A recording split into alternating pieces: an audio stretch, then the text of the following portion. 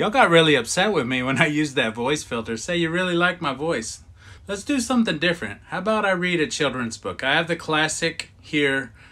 Let me know if you like it. Dee's Big Nuts. Dee's Big Nuts.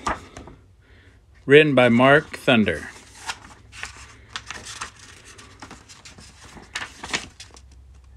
Dee was a squirrel who had big nuts.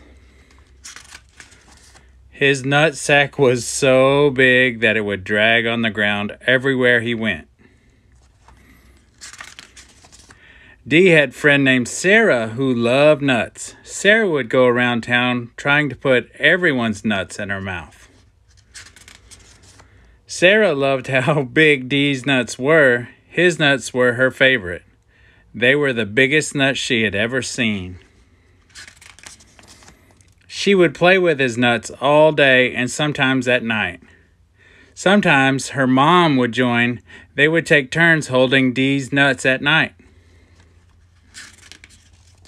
Sometimes Sarah would even try to put both Dee's nuts in her mouth at the same time. She would giggle, her face would turn red, and then his nuts would come flying out. One day, someone ran up to his nuts and started poking them.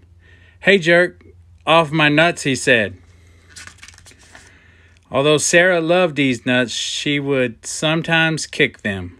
Once she, she kicked them so hard she busted a nut. Dee was very sad that Sarah busted his nut. He just wanted Sarah to play nice with his nuts.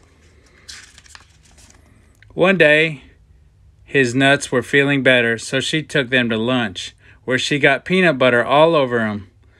His nuts were so sticky. After that, she knew she would need to play nice, because a good all good squirrels know how to play nice with big nuts. The end. Let me know how you liked these Big Nuts, and if you have any books you want to recommend, let me know.